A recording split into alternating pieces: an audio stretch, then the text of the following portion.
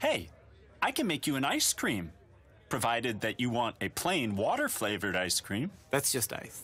I'll make you a plain popsicle. Oh, that's just ice. I'll make you 1,000 plain popsicles. I don't.